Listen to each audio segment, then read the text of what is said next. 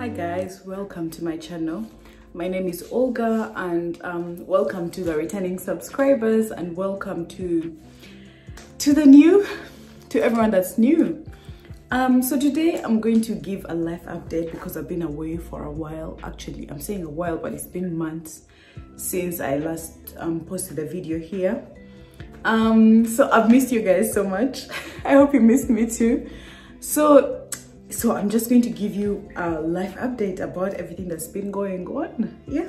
So if you see me looking down it's because i wrote like brief notes so that i don't like drift away and keep like blabbing so the first update is that i graduated. Yay! I graduated. Um and i had my graduation and it was great actually. I was so happy because i was so happy because like um on my graduation i just kept on thinking because at the start of the degree i just told god like god i'm starting this with you.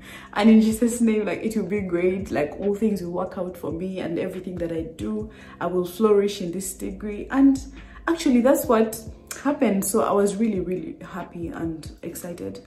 Although um during that time like i also felt a bit stressed because my parents my parents had to come and attend my graduation but then they couldn't come because of the visa delay. And that that really affected me like it was like i'm excited but then at the same time i'm a bit sad that they didn't attend they weren't able to come actually because the visa really delayed. And which wasn't nice at all. Like we tried making calls and doing all that. But anyway at the end of the day they came later on but i still miss them on my graduation. But my friends attended shout out to them. And um yeah and then one of my friend's parents stepped in as my parents. And i was just so grateful for like god giving me great people because yeah vanessa nightingale i love you so much. Yeah and my sister also came which i felt like i felt like she filled the gap of family because um if she wasn't there i think i would have been really like more sad than i was already. So, so yeah after the graduation it's like adulthood hits.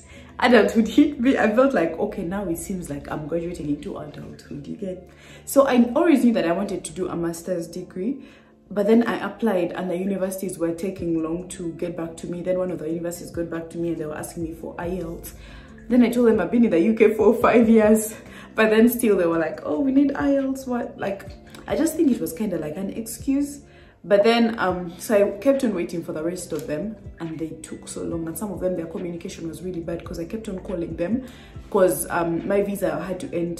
So i graduated in july and my visa had to end in october.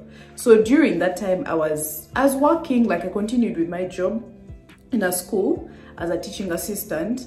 And of course by this time yeah my salary was increased because I, I was now like a, high level teaching assistant. But then I wasn't qualified as a teacher yet because to qualify in the UK you, you need to have um you need to do a PGCE after your degree you do a PGCE to give you teacher qualification. So I wasn't qualified. But then um I kept on working. Then at some point while I'm still waiting just know the wait was long the wait was stressful but in all that actually i don't know if anyone is, is in a waiting season. I feel like most people like when they go through all this they feel like oh my god adulthood is hard. Like like when we go through these waiting seasons we feel like okay now we've summed up the whole of adulthood just by only this.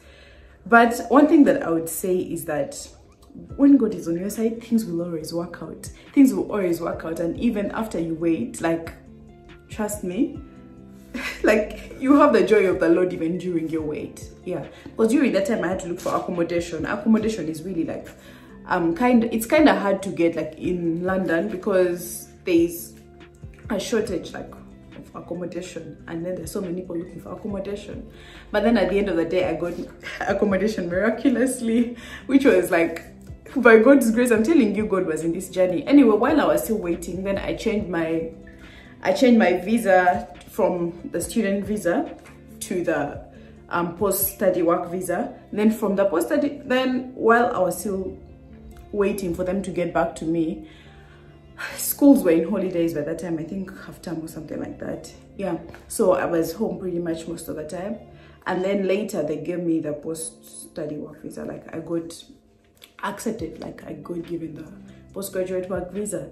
But then after that now imagine i got my postgraduate work visa in like in the same week.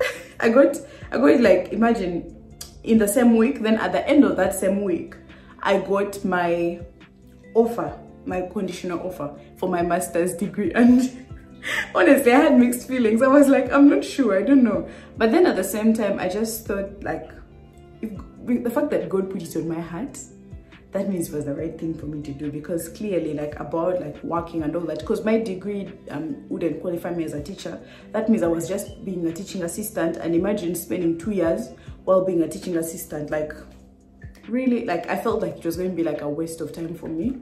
So i felt like doing like changing back to a student visa would be the best. So i changed back to a student visa. And meanwhile all this process all these um changing visas and applying for unis i did it myself so in case anybody needs guidance about that um put your questions in the in the comment section and then I'll, I'll reply them and then you can put any more questions in the comment section. Still I'll be making more videos. Um I hope to actually post more and more videos and to be more consistent. And then I'll also put my Instagram handle in the description box. And then you guys can like follow me and ask me questions. Yeah okay so that I won't disappear again from you guys anyway then um when I got my my conditional offer it was in a master's of occupational therapy and that's what I'm doing right now and I had to move across the wow imagine I moved from London all the way to the north. So right now I'm in Teesside University doing my master's in occupational therapy, which I'm really happy with. Like the people are so nice, everything is different. And yeah, of course I've gotten some culture shocks because London is way different from most of the cities.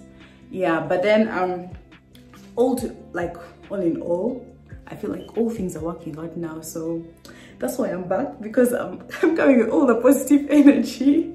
Yeah um anyway guys thank you for watching please put all your questions give me some video suggestions in the comment section i'll be so happy to make videos about about all your questions and about everything yeah? And um, feel free to text me on my instagram to ask questions. And yeah and you can if you're new please go and watch all my previous videos as well. I'll be glad. Yeah. All right. Bye